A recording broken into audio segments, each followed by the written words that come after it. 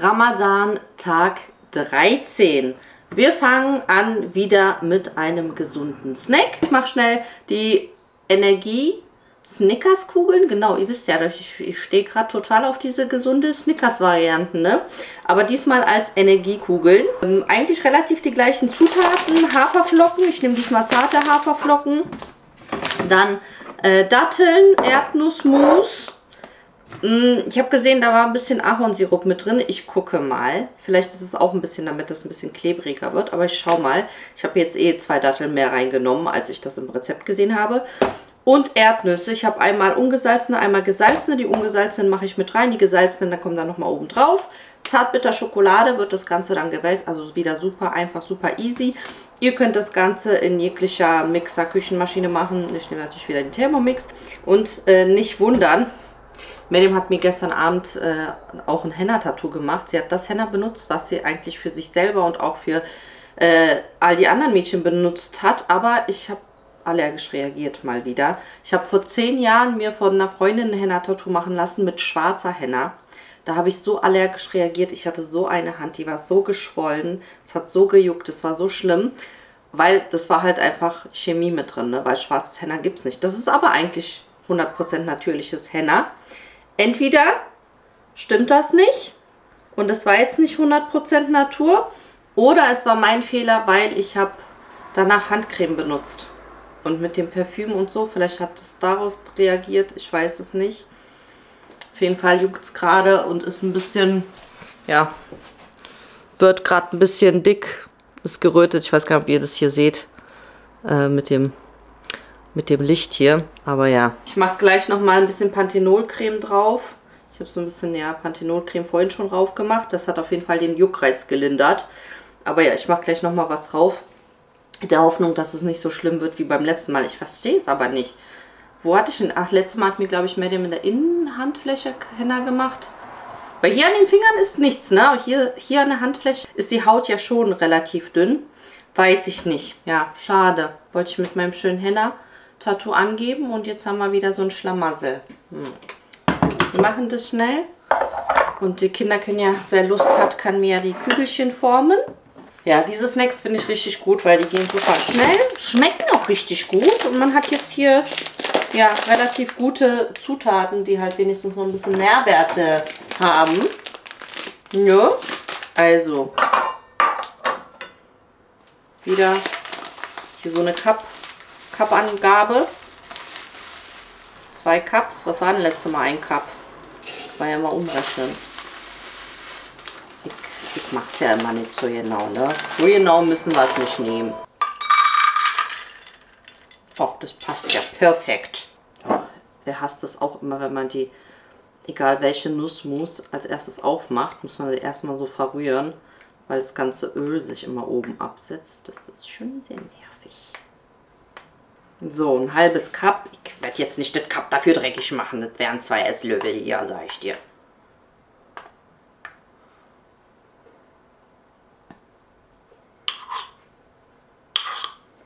Jetzt scheint gerade wieder die Sonne schön. Die Jungs sind rausgegangen, Fußball spielen. Ich sag's euch, ne, die Jugend hat Energie. Fasten hin oder her, die sind aktiv. Ich mache das Ganze jetzt mal ohne den Ahornsirup und schau mal, wie die Konsistenz wird. Ob da jetzt dann nötig ist, den Ahornsirup zu verwenden oder nicht. Falls ihr so trocknere Datteln habt, dann könnt ihr die ruhig eine halbe Stunde in etwas Wasser einlegen. Heißes Wasser.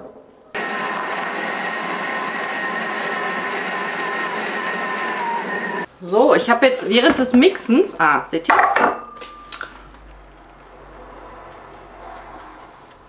Ich habe während des Mixens habe ich schon wieder gesehen, dass es so staubig war und habe einen Schuss von dem Ahornsirup reingemacht.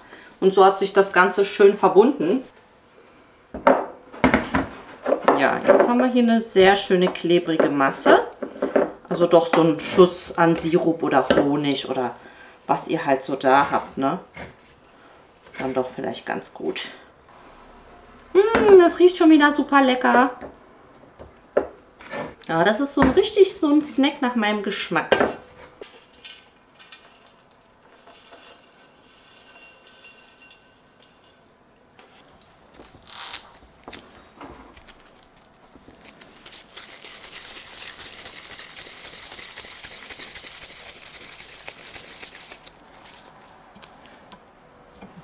klein. Gott, jetzt alle so gleich groß hinzukriegen, das ist immer so eine Sache für sich. Da soll ich die größer machen? So, das wäre jetzt ein Happen genau für den Mund. Soll ich die so happenmäßig machen oder größer machen? So ein Happen ist schon gut, wenn man das so mit einem Happen vernascht.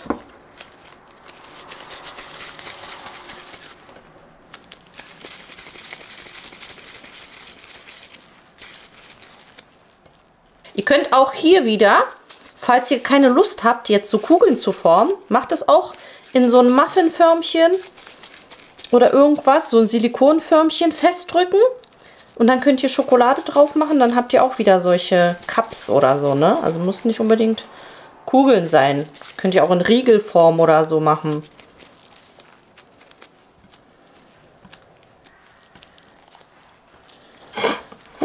So, ich hole mir jetzt ein paar helfende Händchen. Die können hier die Kugeln weiterformen und ich schmelze schon mal die Schokolade. Ich habe jetzt hier die Zartbitterschokolade geschmolzen. Das waren jetzt so ungefähr 150 Gramm. Mit einem halben Teelöffel Kokosnussöl. Einfach damit die Schokolade nicht so hart wird. Dann tunke ich das hier so rein. Einmal wälzen. Ich weiß nicht, ob das damit gut ist oder mit einer Gabel.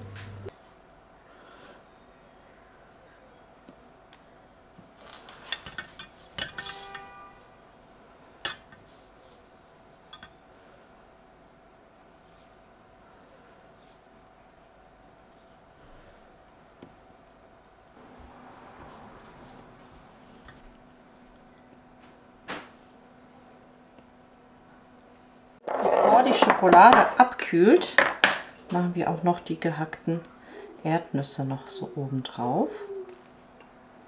Dann können die auch da dran kleben bleiben.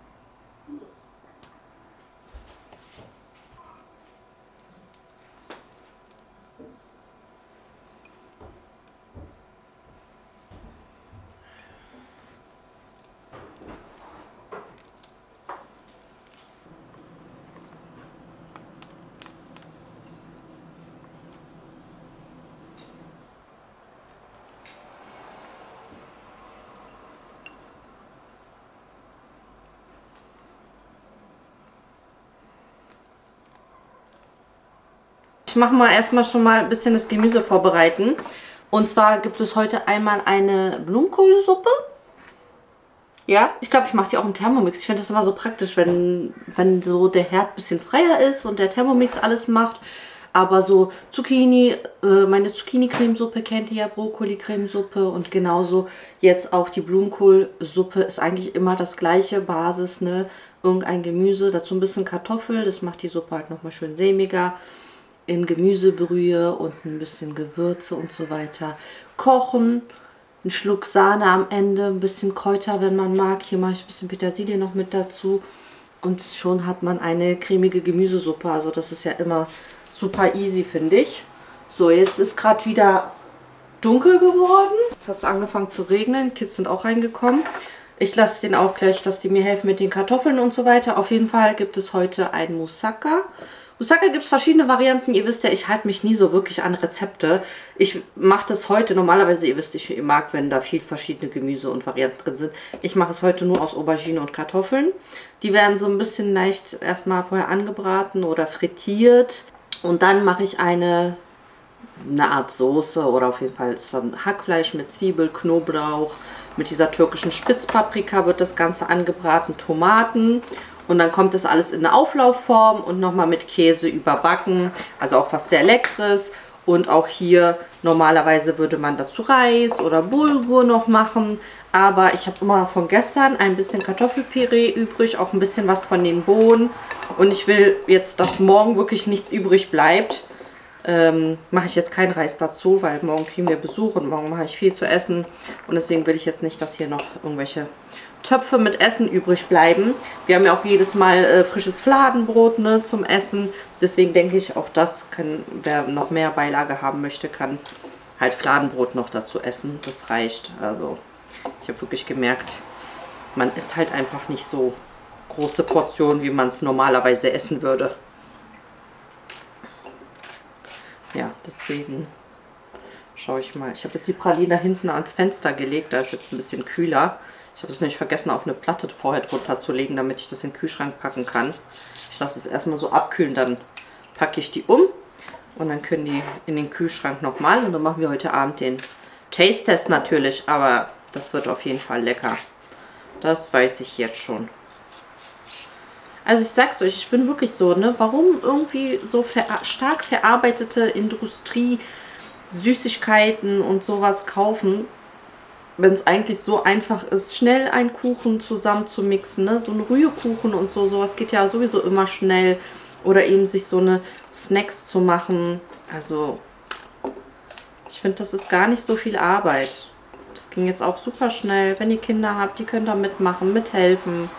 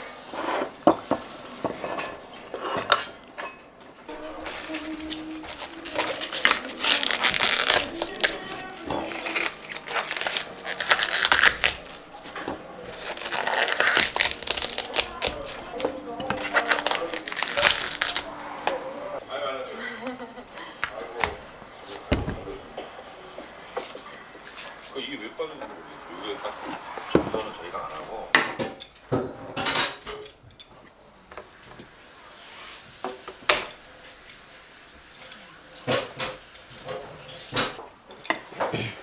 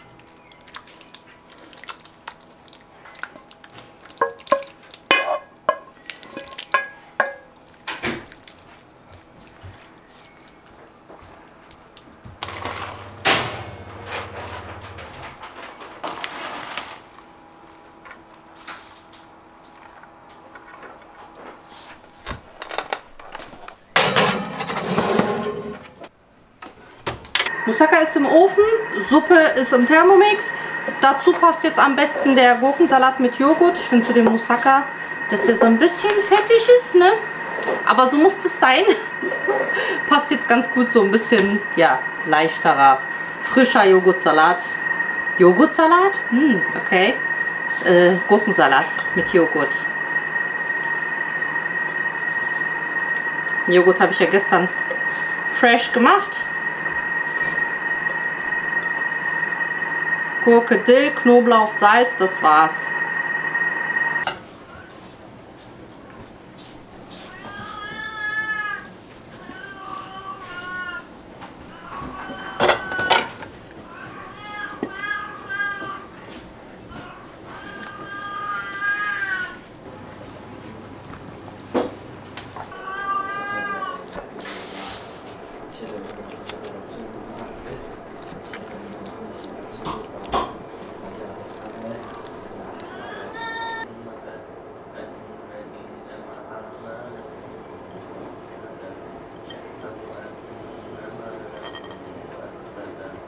Hier ist noch so ein kleiner Klecks von dem gestrigen Essen übrig. Bisschen Kartoffelpüree, bisschen von den Böhnchen.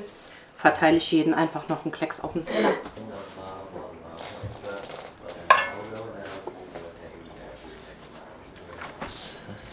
Moussaka. Lecker. Immer. Ist auch lecker. Ich habe schon, ich hab schon probiert. Ich habe schon probiert. Das Moussaka schmeckt richtig lecker. Könnt ihr auf jeden Fall so nachmachen Habe ich gut gemacht.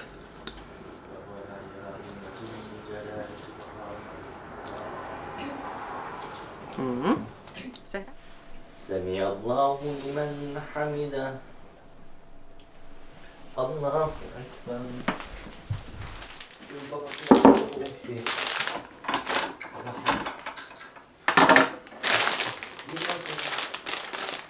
Ich habe wieder neue Blümchen bekommen. Schauen wir mal in die Vase. Aber die haben sehr gut gehalten, ne? Die waren wirklich Zwei, zwei hatten ihren Kopf hängen lassen, aber die haben mir richtig gefallen, die Rosen. Die anderen auch. Ja, die anderen auch. Aber ich fand die Farbe hier sehr schön, weil die so leicht rosa sind. So richtig süß. Also das Moussaka war richtig, richtig lecker. Ein bisschen fettig, ne? So die Aubergine saugt schon ein bisschen viel Fett ein. Aber es war sehr lecker. Hat allen geschmeckt und es ist nichts übrig geblieben. Wir haben alles leer gefuttert. Das ist nämlich gut. Ich muss noch die Küche aufräumen und ich glaube, ich mache jetzt noch mal eine neue Runde Waffeln. Ne, nach dem letzten Fail machen wir mal einen neuen Versuch mit den Waffeln.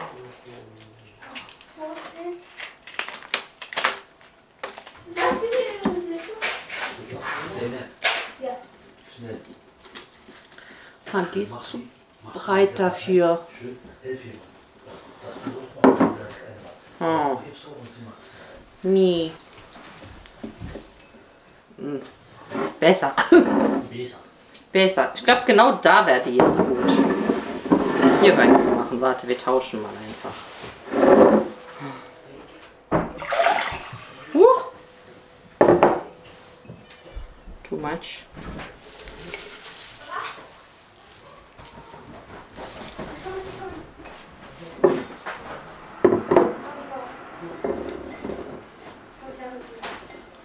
Besser.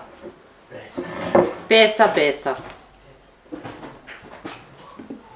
Wir machen noch zusammen den Taste-Test von den Snickers Energiekugeln. Guck mal, die sehen doch toll aus. Ich habe auch noch aus der restlichen äh, Schokolade, die so Schokolade, die übrig geblieben ist, solche kleinen Taler gemacht. Also wenn ihr so restliche Schokolade habt, kann man einfach so auf das Backpapier einfach so raufgießen und dann so mit Nüssen nochmal verzieren. Man einfach nochmal so eine dünne. Ich finde, das schmeckt auch voll lecker, wenn man so eine dünne Schokotaler hat. Erstmal schneiden wir eine auf, damit wir schauen, wie das drinnen aussieht. Bismillah. Oh, das ist wie so eine Mozartkugel, du, ich sag's da. Mo Mozartkugeln sind nicht heller. Ich kenne die nur von damals. So sieht das Ganze drinne aus. Schaut mal. Sieht schön aus. Saftig, cremig. Machen wir den Taste-Test. Bismillah. Bismillah. Mm, schön erdnussig. Mm, könnt ihr aber auch mit anderen Nüssen machen, ne? zum Beispiel Mandeln rein und dann Mandelmus. Oder Haselnüsse und Haselnussmus. So, schaut mal, wie schön das aussieht. So, in so einer, wie nennt man das jetzt? Kutu. in so einer Kutu. so, Deckel zu. Guck doch mal, das ist doch schön, ne? Stell dir vor, das jetzt jemanden so als Gastgeschenk zu bringen. Oh, das ist doch mega. Voll schön. Guck jetzt mal da. Erdnuss oben drauf, ne? Jetzt kommt der beste Teil.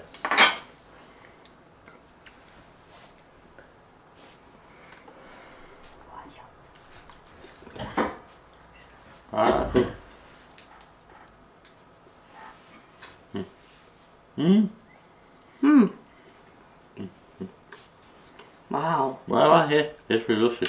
Guck, guck, guck. Oh, ne.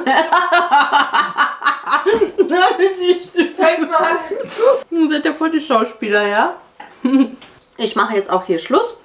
Ich will das Video rechtzeitig schneiden, weil morgen ist viel zu tun. Morgen kommt Besuch, morgen sind wir zu 15.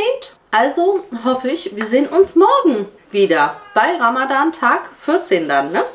Also meine Lieben, danke fürs Zuschauen, danke für eure lieben netten Kommentare, für euren Daumen nach oben und ich hoffe, wir sehen uns morgen wieder.